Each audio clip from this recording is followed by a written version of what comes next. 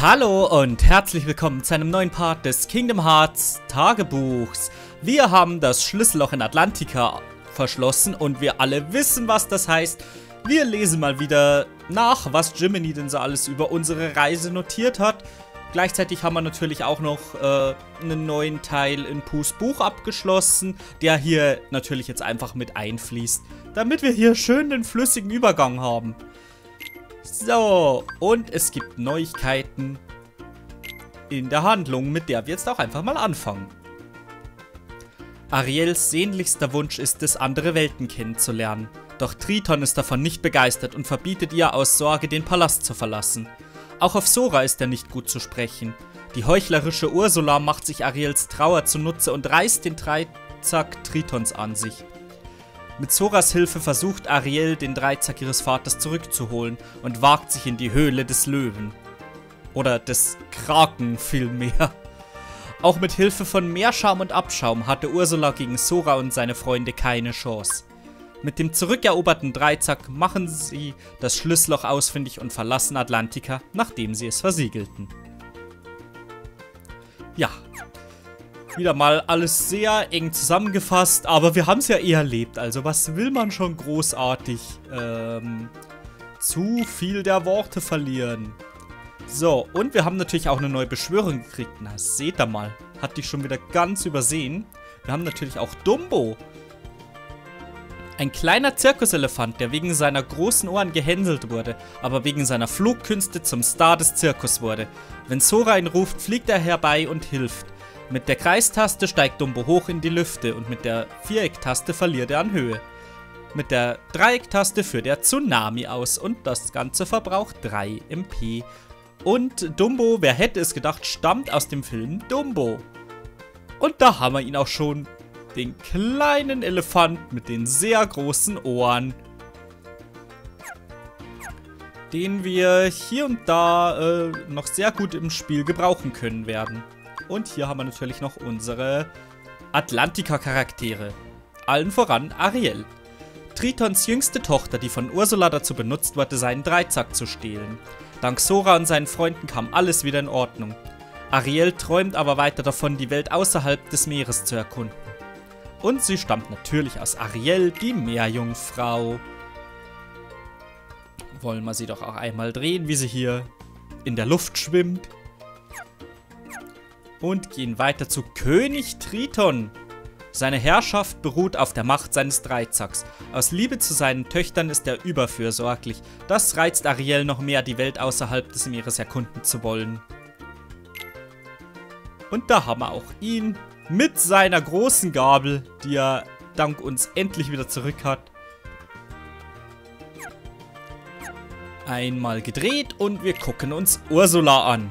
Sie hat Ariel getäuscht und den Dreizack gestohlen. Streng genommen hat Ariel den Dreizack gestohlen und ihr gegeben, aber gut, wir wollen nicht so genau sein. Äh, um über Atlantika zu herrschen. Mit Hilfe seiner Macht konnte sie sich in ein riesiges Monster verwandeln, das Sora, Donald und Goofy angriff. Und da haben wir sie. Die Ursula. Ich glaube, die gibt's aber Genau. Nur als normale Ursula, nicht als Riesen-Ursula. Steht ja im Endeffekt bei der Ursula schon alles mit dabei, was man wissen muss.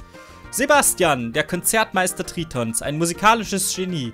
Die kleine Krabbe muss auch auf Ariel aufpassen, damit er nichts zustößt. Immer wenn sie den Palast verlässt, hat er keine ruhige Minute mehr. Und auch nicht wirklich eine Möglichkeit, sie an irgendwas zu hindern. Nichtsdestotrotz wollen wir ihn einfach mal einmal drehen. Und ich muss übrigens mal sagen, ich weiß nicht, ob es nur mir so geht, aber ich finde, dass der Panzer von äh, Sebastian irgendwie so eine Herzform hat. Auch da oben mit diesem Einknick eben, dadurch, dass das nicht ganz rund ist. Was bei Kingdom Hearts, wo Herzsymbole ja eine große Rolle spielen, fast schon wieder andeutungsmäßig wirken würde. Was aber tatsächlich ja einfach auf Sebastians Originaldesign zurückgeht. Und dann haben wir noch Fabius.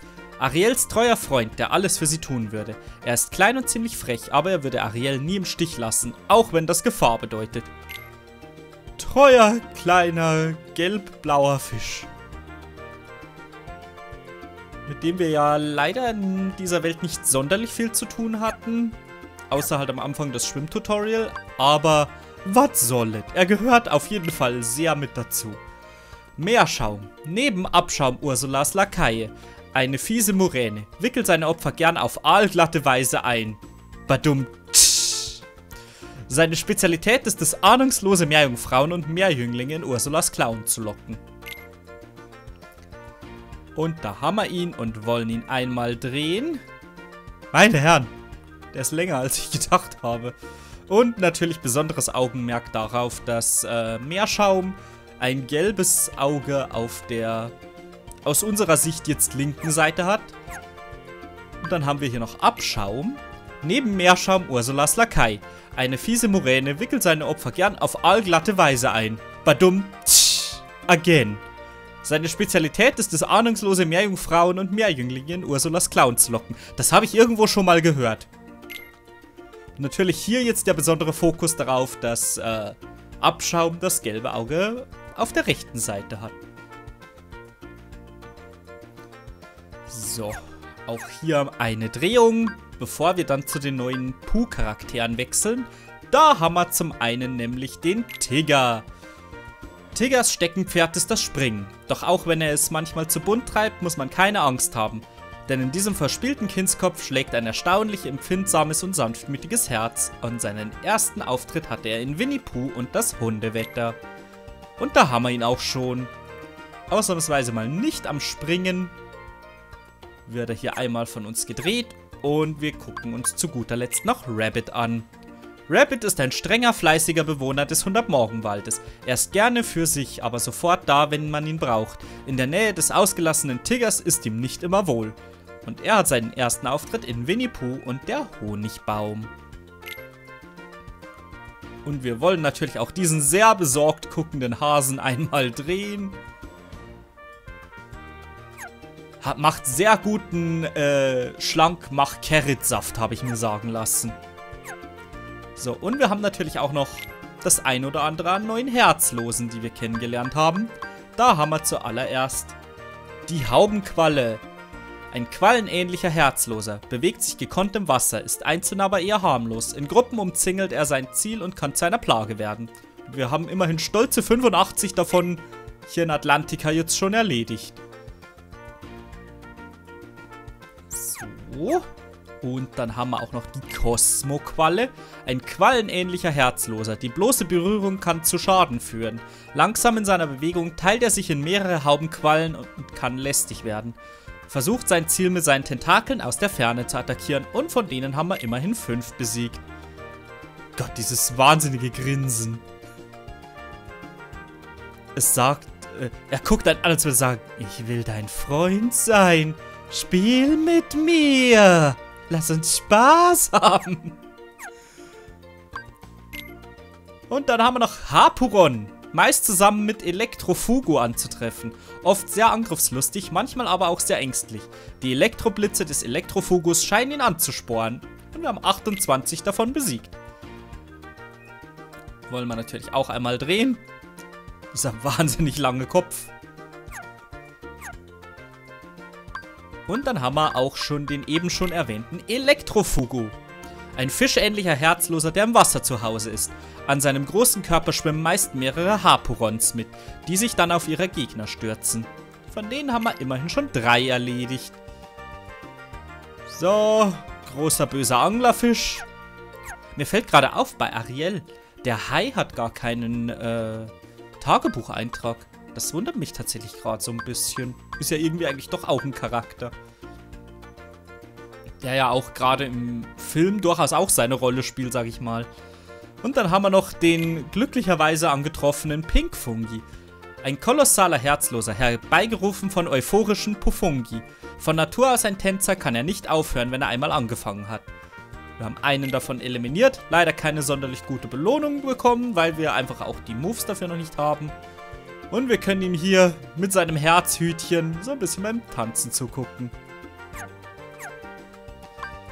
So, und das war's derweil auch schon mal mit den Herzlosen. Können mal kurz gucken. Haben wir... Äh, gibt's überhaupt Dalmatiner in Atlantika?